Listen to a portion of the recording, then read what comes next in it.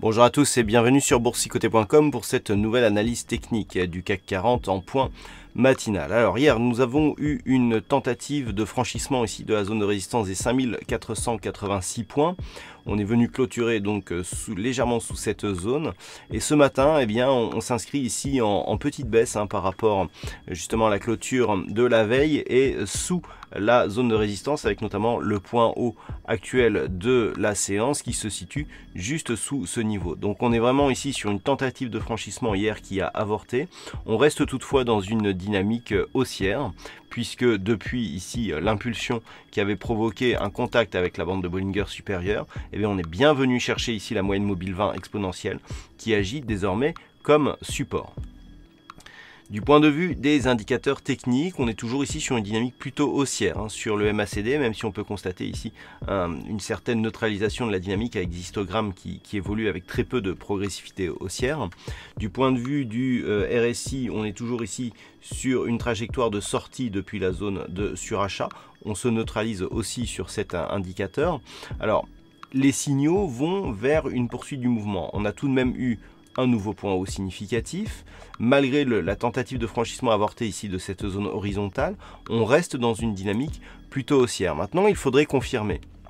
Car si les cours eh bien, ne parviennent pas ici à franchir cette zone rapidement, eh bien, le risque, c'est naturellement de revenir ici sur cette zone hein, des 5443 points, voire de casser ici les 5430. Et une cassure des, 5430 aurait des, des répercussions significatives.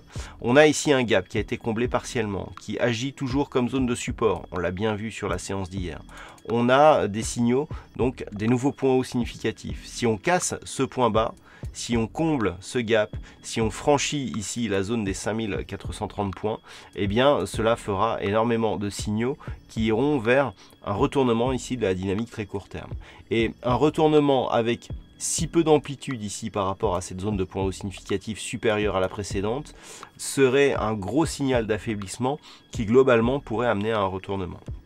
Donc il va vraiment falloir surveiller ici cette séance, un éventuel franchissement des 5486. Le réel signal de, poursuite du mouvement serait ici une cassure des 5500 points, puisque c'est une zone que l'on a euh, tutoyée euh, hier, mais sans revenir sous la zone des 5486 points.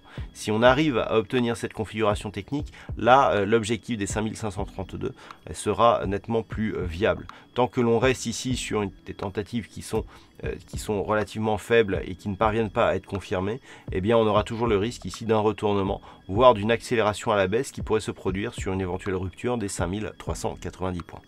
Voilà ce que l'on peut dire donc d'un point de vue technique sur cette configuration matinale. D'un point de vue macroéconomique, il n'y aura pas de statistiques majeures ce matin. Nous aurons la production industrielle à 11h concernant la zone euro, mais qui ne devrait pas normalement euh, impulser trop de, volatilité sur le marché. Du côté des marchés américains, 14h30, nous aurons les indices de prix à l'importation et à 16h, nous aurons l'indice du Michigan. Je vous rappelle que vous pourrez euh, suivre la diffusion de ces deux chiffres durant le Trading Live qui démarrera à partir de 14 sur la chaîne YouTube boursicoté.com et le lien vous sera donné gratuitement et sans engagement sur le chat du site boursicoté.com. Voilà, bonne séance à tous et à tout à l'heure pour le Trading Live.